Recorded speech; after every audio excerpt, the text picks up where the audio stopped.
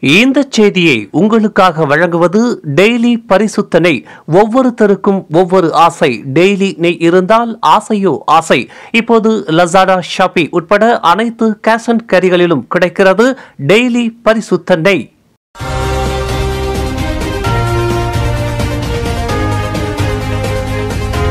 வணக்கம். திசைகளின் ஐந்து மணி செய்திகள்.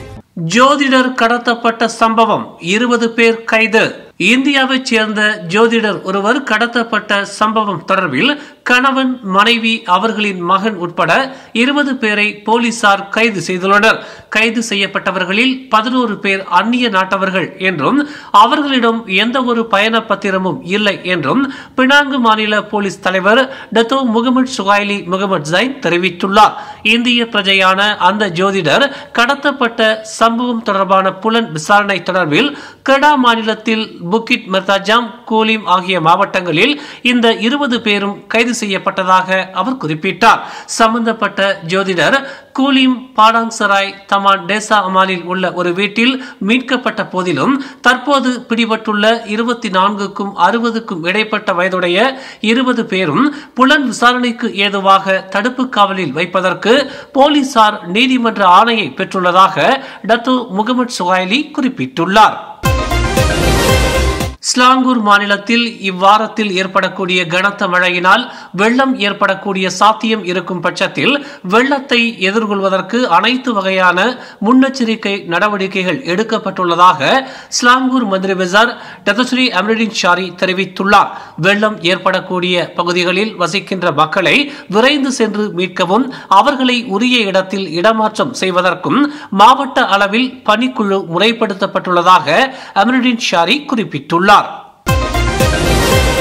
வரும் பொது தேர்தலை முன்னிட்டு பாரிசான் நேஷனல் கூட்டணியை ஆதரிக்கின்ற இந்தியர்களின் ஆதரவு பெருகி வருவதாக அதன் துணைத் தலைவர் டதஸ்ரீ முகமது ஹசான் தெரிவித்துள்ளார். கடந்த ஈராயிரத்து இருபத்தி ஒன்றாம் ஆண்டு நவம்பர் மாதம் நடைபெற்ற மலாக்கா மாநில சட்டமன்ற தேர்தல் மற்றும் இவ்வாண்டு மார்ச் மாதம் நடைபெற்ற ஜொகூர் மாநில தேர்தல் மற்றும் சில இடைத்தேர்தல்களில் பாரிசான் நேஷனலுக்கு இந்தியர்கள் அளித்த ஆதரவை போல வருகின்ற பொது தேர்தலிலும் இந்தியர்களின் ஆதரவு பெருகி வருவதாக முகமது ஹசான் குறிப்பிட்டுள்ளார். கெடா பாடாங்சராய் தொகுதியின் கீழ் உள்ள ஒன்பது தமிழ் பள்ளிகளில் ஒன்றான பிஎம்ஆர் தோட்ட தமிழ் பள்ளி சொந்த நிலத்தில் இல்லாத காரணத்தினால் இன்று வரை அப்பள்ளிக்கு புதிய கட்டிடம் எழுப்புவதில் பல பிரச்சனைகள் எழுந்து வருவதாக பிகேஆர் கட்சி உறுப்பினரான கருப்பையா முத்துசாமி தெரிவித்தாா் கூலிம் ஹைடெக் பார்க்கிலிருந்து சுங்கைகோப் செல்லும் வழியில் தனியார் நிலத்தில் அமைந்துள்ள பிஎம்ஆர் தோட்ட தமிழ் பள்ளியின் கட்டிடம் பயன்பாட்டிற்கு பாதுகாப்பானதாக இல்லை என்று பொதுப்பணி இலாக்கா கடிதம் ஒன்றினை வழங்கிவிட்டது. ஆனால் அப்பள்ளியின் நிர்வாகத்தினர் புதிய கட்டிடம் கட்டுவதில் பல சிரமங்களை எதிர்நோக்கி வருவதாக கருப்பையா முத்துசாமி விவரித்தார். இப்போ நீங்கள் பார்த்தீங்கன்னாக்கா நான் வந்து தாமஸ் பள்ளியில் இருக்கிறேன். இங்கே வந்து ரெண்டு விஷயம் வந்து இன்னொரு கேள்விக்குறியாக இருக்குது ஒன்று வந்து பிஎம்ஆர் தமிழ் பள்ளி. மேஜர் குணா அவர் தான் ஐபிஎஸ் தலைவர் பிஎம்ஆர் தமிழ் பள்ளிக்கு. அவர் வந்து லெட்டர் மூலியமாக எழுதி போட்டு முறையிட்டிருக்காரு. இன்னும் பதில் வரல. அது பள்ளியோட இது. அந்த பள்ளிக்கு கூட நான் வந்து இப்போ இடையில வந்து ஐம்பதாயிரம் வெள்ளி கொடுத்து சீர்திருத்தம் செய்யறதுக்கு கொடுத்துருக்கேன். சிறப்பாக நடத்திக்கிட்டு இருக்காங்க. இந்த வேலையில் வந்து அந்த பள்ளி நிர்வாகத்துக்கும் சரி தலைமை ஆசிரியருக்கும் சரி ஆசிரியர்களுக்கும் சரி ஐபிஎஸ் தலைவர் தான் அவங்களோட குருவுங்களுக்கும் பாராட்டு கொடுக்குறேன். சிறப்பாக செய்துக்கிட்டு இருக்காங்க.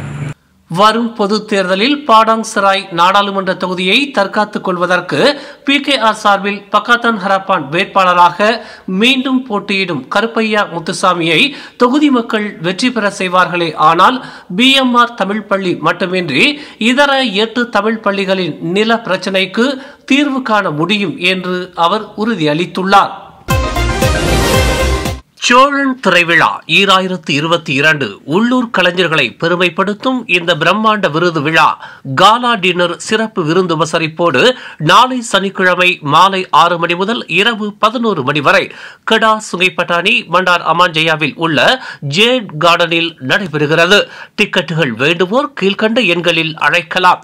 சோழன் திரைவிழா இது நம்ம மண்ணின் மைந்தர்களுக்கு மகுடம் சூட்டும் விழா.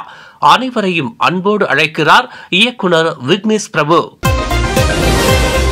வடக்கு தெற்கு நெடுஞ்சாலையில் இருநூற்று எண்பதாவது கிலோமீட்டரில் நீலாய் அருகில் இன்று காலை பதினொன்று நாற்பது மணி அளவில் நிகழ்ந்த ஐந்து வாகனங்கள் சம்பந்தப்பட்ட சாலை விபத்தில் லோரி ஓட்டுநர் ஒருவர் உயிரிழந்தார். இரண்டு ட்ரெய்லர் லோரிகள் இரண்டு கார்கள் மற்றும் ஒரு மோட்டார் சைக்கிள் இந்த விபத்தில் சிக்கியதாக நெகிரி செம்பிலான் மாநில தீயணைப்பு மற்றும் மீட்பு படையினர் தெரிவித்தனர். இச்சம்பவத்தில் ட்ரெய்லர் லோரி ஓட்டுநரான நாற்பத்தி மூன்று வயது நபர் சம்பவ இடத்திலேயே மாண்டதாக அதன் பேச்சாளர் தெரிவித்தார். கோலாலம்பூர் மாநகரில் எல்ஆர்டி ரயில் சேவையை நிலைகுத்த செய்துள்ள கிளானாஜயா வழித்தடத்தில் பதினாறு நிலையங்கள் மூடப்பட்ட சம்பவத்தை தொடர்ந்து சீரமைப்பு பணிகள் நிர்ணயிக்கப்பட்ட காலகட்டத்திற்கு முன்னதாகவே முடிவடையலாம் என்று போக்குவரத்து அமைச்சர் டத்துஸ்ரீ வி க சியோங் உறுதி அளித்துள்ளார். சீரமைப்பு பணிகள் ஏழு நாட்களுக்குள் முடிவடையலாம் என்று அட்டவணையிடப்பட்டுள்ளது. ஆனால் அதற்கு முன்னதாகவே சீர் செய்யப்பட்டு எல்ஆர்டி ரயில் சேவை வழக்கு நிலைக்கு திரும்புவதற்குரிய ஏற்பாடு செயல்பாடுகள் நடைபெற்று வருவதாக அவர் குறிப்பிட்டுள்ளார். இந்த செய்தியை உங்களுக்காக வழங்கியது டெய்லி பரிசுத்தனை ஒவ்வொருத்தருக்கும் ஒவ்வொரு ஆசை. டெய்லி நெய் இருந்தால் ஆசையோ ஆசை. இப்போது லசாடா ஷாப்பி உட்பட அனைத்து கேஷ் அண்ட் கேரிகளிலும் கிடைக்கிறது டெய்லி பரிசுத்தனை. மேலும் செய்திகளை தெரிந்து கொள்ள கீழே இருக்கும் பெல் பட்டனை அழுத்துங்கள். உங்கள் மகிழ்ச்சியை வெளிப்படுத்த லைக் மற்றும் ஷேர் செய்யுங்கள். தொடர்ந்து திசைகளோடு இணைந்திருக்க சப்ஸ்கிரைப் செய்யுங்கள்.